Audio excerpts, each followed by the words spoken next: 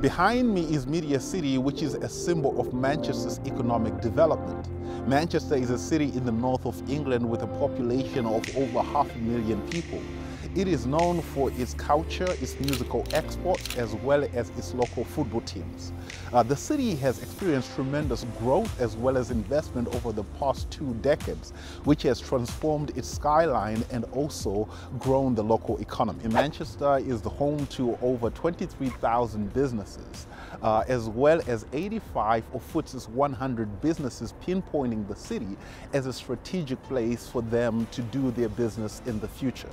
It has already been crowned as the fastest growing uh, tech hub within Europe, uh, as well as having a track record of giving birth to tech unicorns such as Boo.com, AO, as well as OnTheBeach.com, just to name a few. The city presents great prospects for investment in property, hence you have local and international investors flocking to the city to get in on the capital gains as well as experience a good rental yield that is still being offered in a city like Manchester. Manchester was voted one of Britain's youngest cities, with the average person who lives in Manchester being 33 years old and one quarter of the population being between the ages of 20 to 29. Statistically, young people are more likely to rent than own property, and this has been the case for Manchester and it has experienced tremendous growth in rental demand.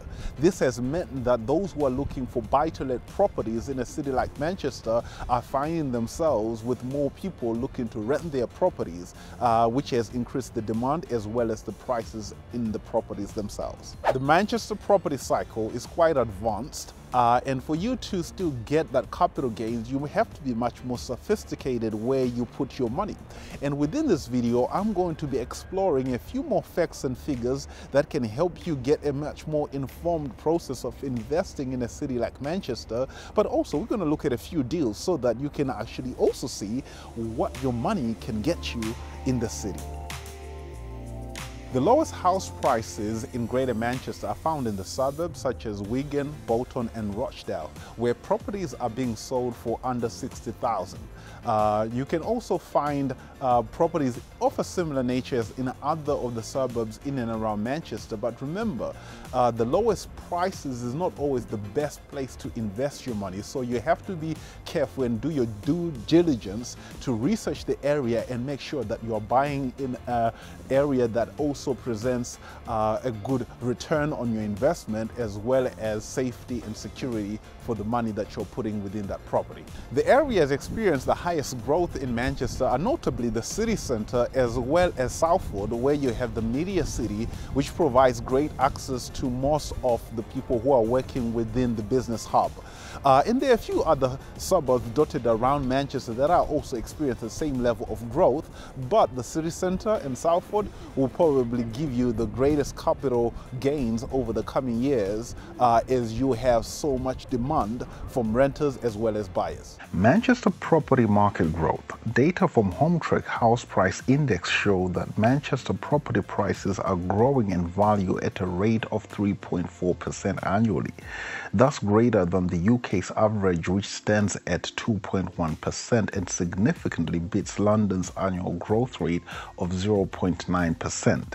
Manchester's average house price increase in the last 10 years from 2010 to 2020 was 40% according to data from the house price index.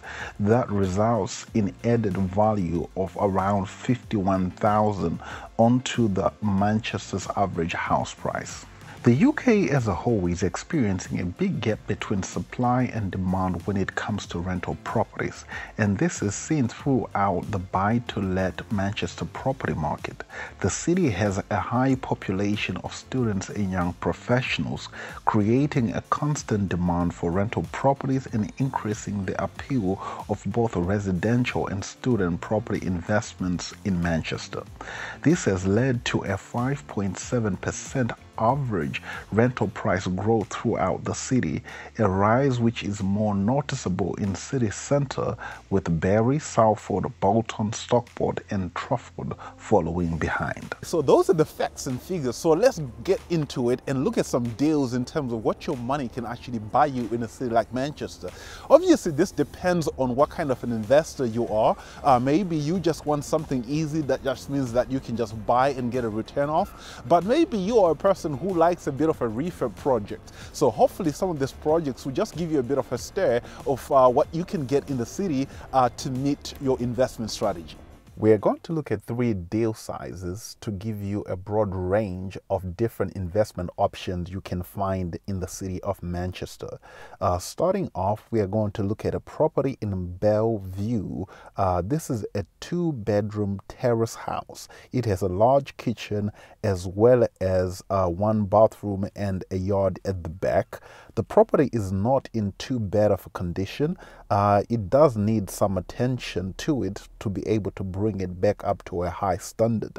Uh, as you can see from the deco that it already has, a tenant has just moved out, so a light uh, refurb job will be needed. But the biggest job is at the back of the property where you can see that there is a bit of damp which is coming through the kitchen walls as well as uh, the bedroom walls all of this tends to come from uh, when there is a guttering issue and there is a water leakage in the gutter, which then flows through the brickwork and causes damp to come through the walls.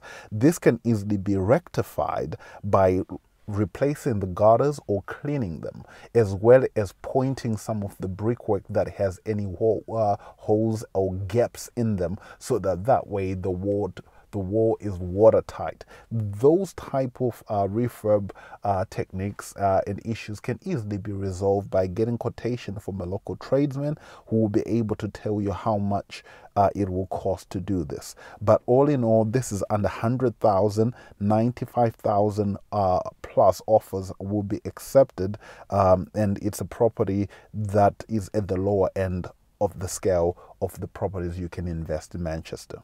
Deal number two, uh, it's a development site with planning permission for 15 apartments. This is in Prestwich, which is a commuter town with a few minutes drive away from Manchester city centre.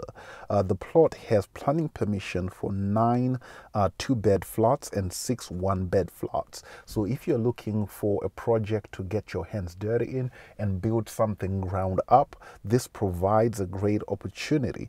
Uh, this will be auctioned um, and the guide price is 350,000. Of course, it might go a bit higher than that. It's about then carrying out your development appraisal to see what is the maximum you can bid for a project of this nature. But demand is very high for two beds and one bed flats within this area, especially with the allowance that you can get into the city center with ease. Deal number three is a block of 10 self contained apartments within the edge of the city center. This is an ideal investment for someone who is looking to cash flow from day one. Uh, the property has been recently been refurbished to a very high condition. It has fully fitted kitchens, private entrance, uh, double height ceilings and windows. Uh, it has wet rooms and bathrooms right across uh, all of the units, which are finished to a very high standards. Rentals in the area are from 850 to 950 per calendar month. Uh, the block has nine two bed apartments and one one bedroom flat. Uh, this is a great opportunity right in the city center. Uh, and if you are a foreign investor or investor who doesn't live in the area, this is a great opportunity to invest uh, with ease without necessarily having to do a refurbishment. Uh, the property is going for 2.1 million, and I'm sure there is room for negotiation with the vendors if you are interested in a plot uh, or development like this that is ready to go from day one. Okay, there you go. That's an overview of Manchester. Hopefully that has informed you a bit more about the city as an investment area. And if you're looking to invest in Manchester, remember, always do your own due diligence on whatever deal you get. Just because a city is experiencing great growth, it doesn't mean that every deal is worthwhile getting into. Do your numbers and make sure that you're buying at the right prices for you to actually get great returns on your investment. So remember to subscribe, follow, like, and comment so that that way we can keep on bringing you this content on how you can invest within the north of England and make much more informed choices. I'll see you next time.